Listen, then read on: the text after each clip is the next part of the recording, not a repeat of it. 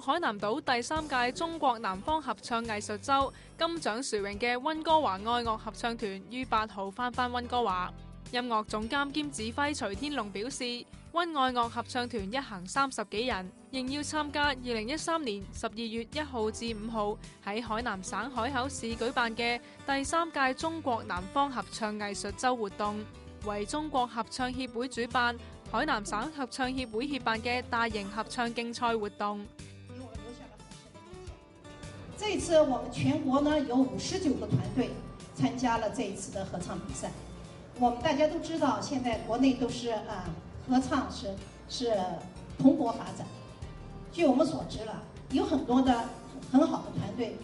来自中国十七个省市及海南岛本地五十九个合唱团队参加。温爱乐合唱团系唯一同赛嘅境外合唱团。那我们在这次团经过了三天。五场的比赛以后，我们胜出得了金奖，而且我们也得了我们的徐指挥得了很高荣誉的指挥奖。温爱乐合唱团排出咗最佳阵容参赛，要约钢琴家陈仁惠坐镇伴奏，亦推出两大女高音胡艳玲同吴晓颖担任领唱。赢得由中国合唱协会理事长田玉斌领军嘅评审团一致嘅青睐，荣获成人混声组金奖嘅殊荣。在第这个比赛呢，是分啊四天，前三天是评比，有五场的评比，每一天这些评委都要看十十三到十五场的评比。那最后一天呢是专家点评，尤其在这个点评上面提出来强调了我们这个团。这个我们唱了三首歌，第一首是一根丝线无伴奏民歌，第二首是《志刚外国民歌，第三首是《望月》。尤其说我们唱《望月》，声音一开始出来的时候，就把他们深深吸引住了，眼前一亮。我们声情并茂的演唱，就是发挥了我们最佳的这个演绎，对这个歌曲的演绎，所以对给他们留下了特别深刻的印象。徐天龙亦因为参赛歌曲完美嘅诠释同超卓嘅指挥功力，同其他三位国内知名指挥家并列而获颁指挥奖。